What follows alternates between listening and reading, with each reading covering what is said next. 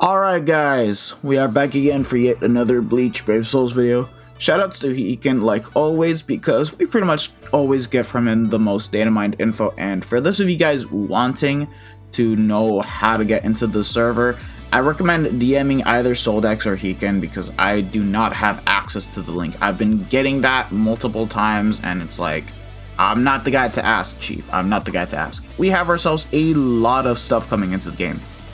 So for starters, we're getting a Lunar New Year's pack, which is interesting. We don't know what's in the actual ticket packs for those of you guys that are wanting to whale, so we'll have to wait until they're officially out in the game, and either way, mid-month could be that? Maybe? I don't know, it's hinting towards that. So, uh, yeah, there's that the Fierce Battle characters are going to be getting their character packs, so if you guys still do not have them, this is going to be your chance to pick them up, although it's going to be a bit expensive. It's going to be around 20 plus US dollars, so there's that. And, uh, yeah, what else?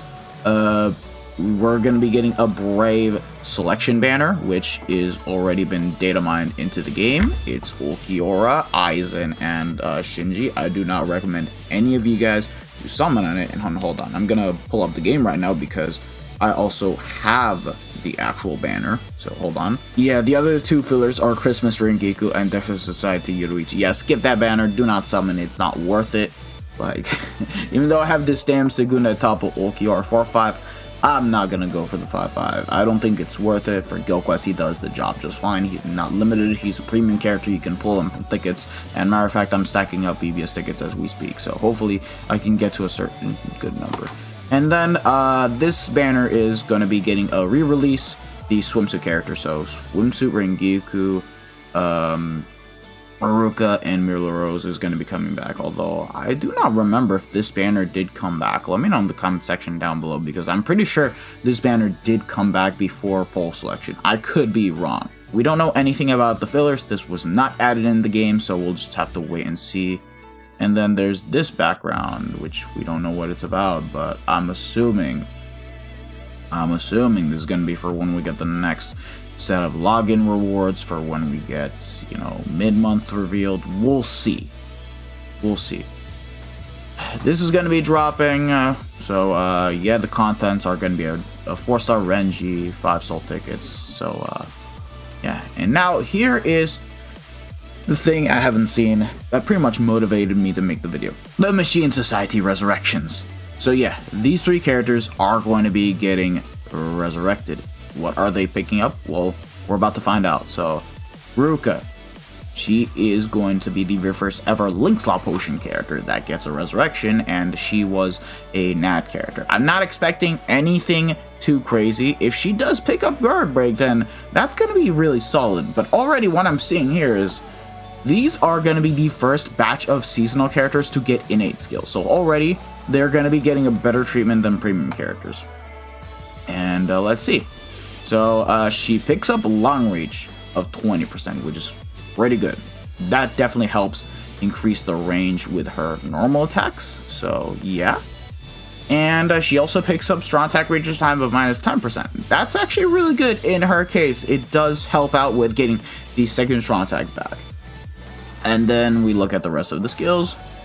Uh, her bruiser just got upped by 10%, uh, so now it's 30%. Berserker maybe got increased, but it's kind of irrelevant because you're not running her as a hybrid character, so yeah. Sadly, she didn't really pick up much, but other than that, uh, if you guys want to use her, she'll be a bit better for autoing, but no guard break still kind of hurts, so like, nothing too crazy to take note of. So yeah, next character is going to be Machine Society Retsu. Okay.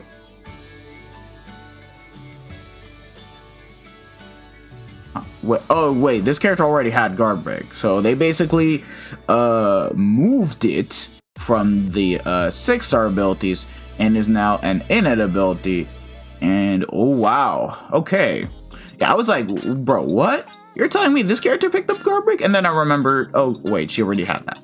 So uh, yeah, uh, the change into her skill set, uh, she now has damage to frozen enemies of 20% and did pick up increased status ailment chance against hard attribute soul reapers.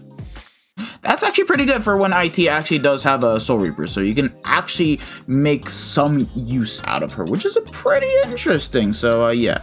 Again, the guard break got moved from the 6-star abilities into the innate abilities, and this is what she picked up. Her Berserker got changed from 20% to 30%. Devastation pretty much remained the same. Frenzy, same thing. Havoc. She's a good character, don't get me wrong.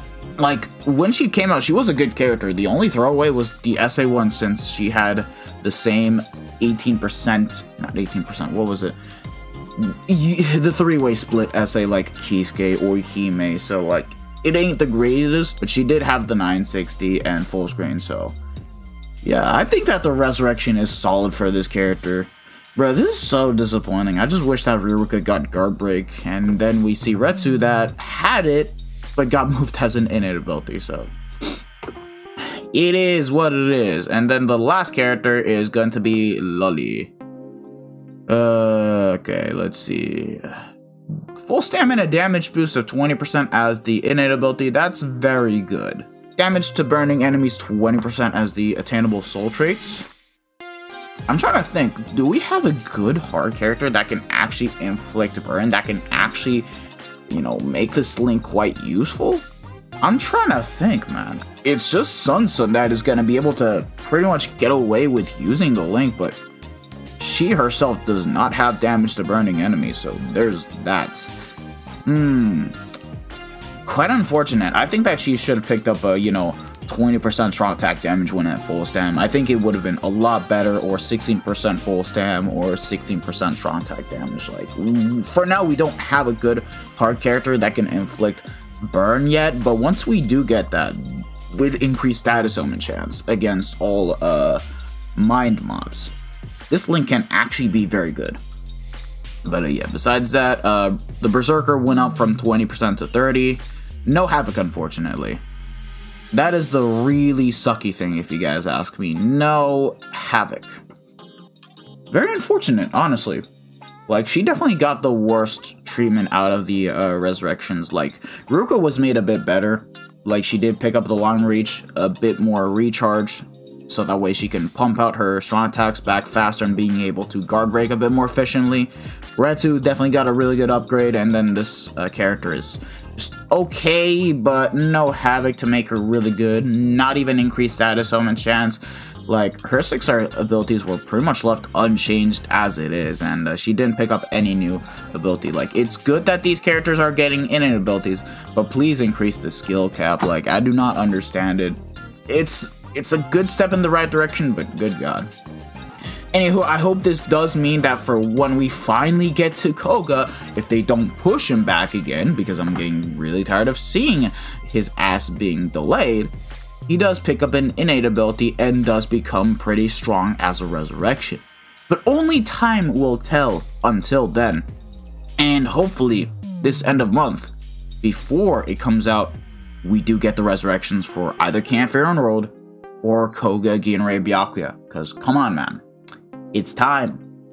Those characters are way overdue. And plus, I want those World resurrections to catch up so that way we can get to Tokinada and Harribel, bro. What are they doing? Uh, okay, it's in line with Valentine's Day, so it's cool that these characters are getting resurrected, but I'm just so tired of seeing those characters getting pushed back. I'm sorry, but like, Fierce Battle should not have gotten resurrected uh, last month for the end of month. Sorry, but no. Anywho, let me know what you guys think about the character's resurrection in the comment section down below. And uh, yeah, if you guys think that they're good. I think Retsu is really good. Riruka is okay, and then Mashiro, uh, not Mashiro, excuse me, Loly got definitely the worst treatment, unfortunately. So yeah, thank you guys for watching. If you guys have enjoyed it, don't forget to smash that like button, share this video with your friends and family, subscribe to the channel if you guys haven't already, and hit the bell notification so that way you guys are up to date with my most recent videos. This has been your boy, the Death Smasher, and I hope to see you guys all in the next one, so have a wonderful day, lads. Peace out. Bye. Sayonara. Ciao, ciao.